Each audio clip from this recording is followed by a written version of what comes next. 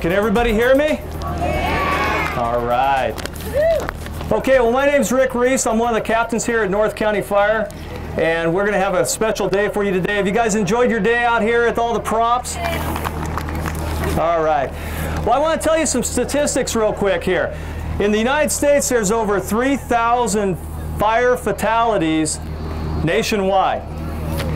Of those 3,000, 80% of the fire fatalities happen in the home. And one of the problems we have is we don't have an early detection system such as smoke alarms that are operating. How often should we change our batteries? Who knows? Every six months. Every time you change, every time you change your clocks, okay? And then also what we're going to see is a demonstration about fire sprinkler systems. One of the neat things is our builders in California nowadays are building homes to better protect us, not only the public, but also the firefighters. We're going to see as long as these burn, we're pretty good at putting fires out. Hopefully we're good at lighting fires. But hopefully this thing is going to demonstrate for you today how well a, a, fire sprinkler system, a residential sprinkler system, works in the house. We're going to see how fast fire builds and continues to build in the non-sprinklered building. And then in the building that has a sprinkler, we're going to see how much more it controls it.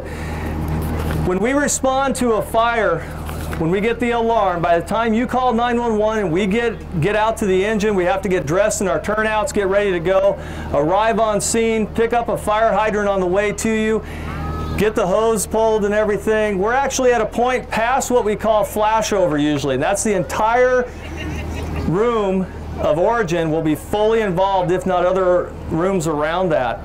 With the sprinkler system, it will hold the fire in check. What it does basically is it buys us time to put the fire out, if not put the fire out completely on its own.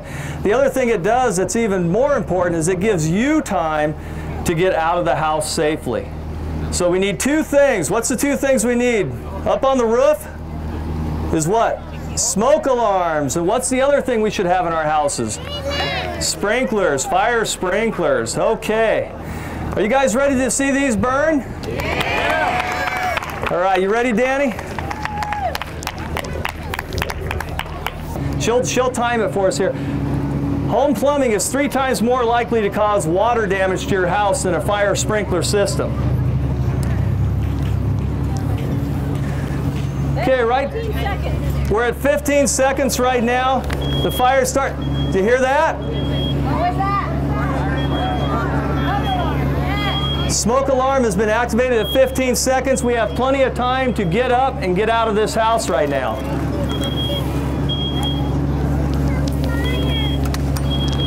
As the fire starts to go from what we call the incipient phase or the beginning of the fire, it's in what's, what's known as the growth phase right now. It's going to start catching other things on the room, in the room on fire. As you can see how thick the smoke is coming out of there. That's why kids, we get down low. We get down low and we get out of our house and we feel the door to make sure it's not hot. One minute. One minute.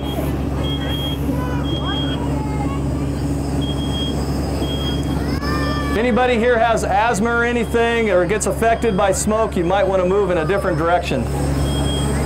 Especially my son right there. So Nathan, go that way. For those of you who can't see, the flames are up this high up the wall right now. It's just coming out of a small wastebasket that's less than a foot tall. The side of the couch is lighting on fire, and the curtains are getting involved now. One minute, 40 seconds.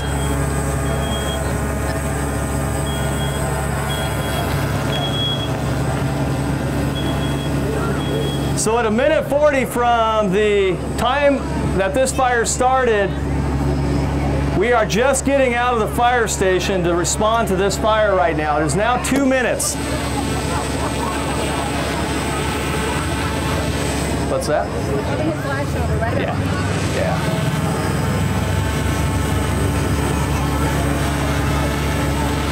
Two minutes and 15 seconds.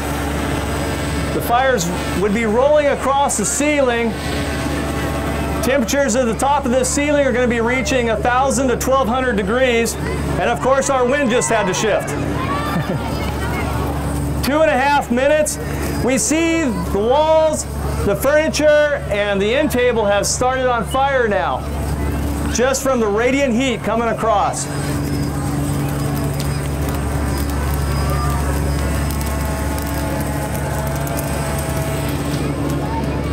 What time are we at now? 253. 253. So in less than three minutes, this is how involved a room will get. Like I said earlier, a fire will double in size every minute. Now think about if you were upstairs, where most bed, who has a two-story house? If you were upstairs, this is where all that smoke is going. This is why it's so important that we have ladders Three, three minutes, 20 seconds, we've reached flashover. All, even including the carpet, is on fire. We can put the fire out.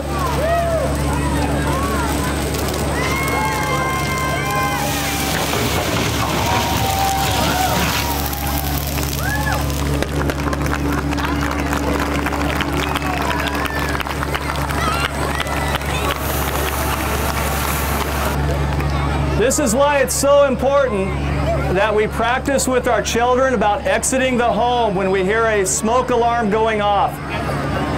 You have to get out of a house very quickly. Everything in this room has burned, including the carpeting. In three minutes, and what was the time? 321, every part of that room was on fire. Who has a ladder in their second floor to be able to exit their house? If you don't have a ladder, guys, it's really important to get that ladder upstairs because this stairwell, if this happened downstairs in a living room, the stairwell is going to be impassable from the smoke. It is going to be so hot. The other important thing, when we put our children to bed at night, that we close the doors to their room. And I know some of our kids don't like that door closed, but they'll go to sleep pretty quickly and just go back in there and close that door. This keeps the smoke from getting into their room and you buy time to be able to get them out. The next prop that we're going to see will have a fire sprinkler. Once, it, once they get this out and cooled off, you'll be able to see how much damage is in this house. It's hard to see, but the entire couch is burned. There are no cushions left on the couch. There is nothing left to the back. All the walls and the ceiling are charred. The end table is charred all the, way, all the way around it and the carpet is all melted. That happened in 3 minutes and 20 seconds. All right, you guys ready to see a sprinkler building get lit? All right. Now fire sprinklers cost less to install than your granite, granite countertops. And we're going to see what a difference fire sprinklers make.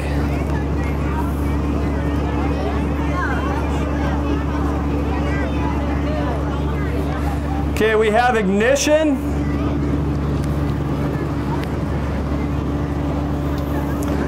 You guys can see the fire starting. They couldn't see the other one in the corner back here. 12 seconds. 12 seconds. Smoke alarms activated.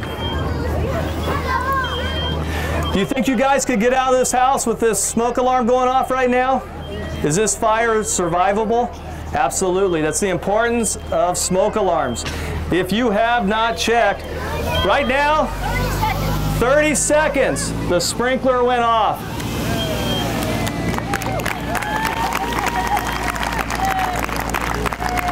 And it's controlling this fire.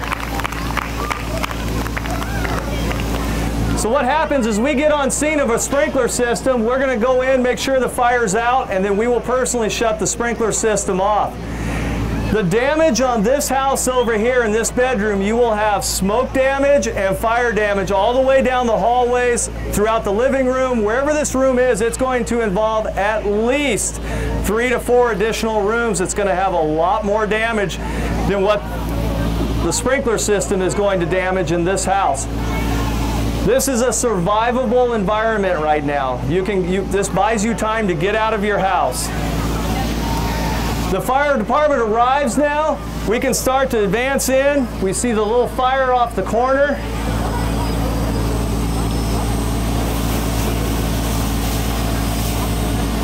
They knock the fire out.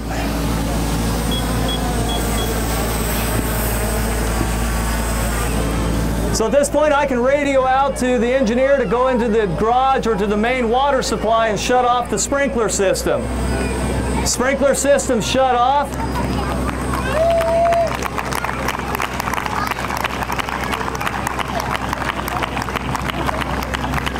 Do you guys see the difference in the damage to the furniture? All this furniture has smoke damage, has fire damage, but this is a survivable incident. With fire sprinklers, it buys time for us. A lot of people that are against fire sprinklers or they're saying, hey, it's going to break and flood my house. How's the damage look between these two? What house do you want to have? That one. That one. Fire sprinklers will go off between 135 and 165 degrees. And not every sprinkler will go off at once. Only the sprinkler that's affected by the fire. Let's give a hand to the firefighters here.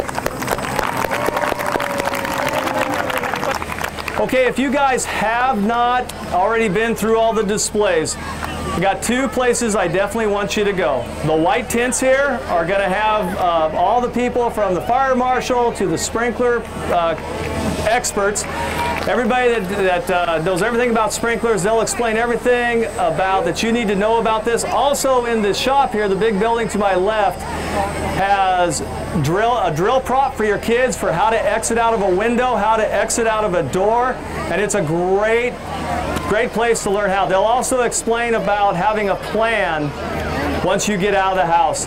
Thank you guys so much. Have a great day and stay safe out there.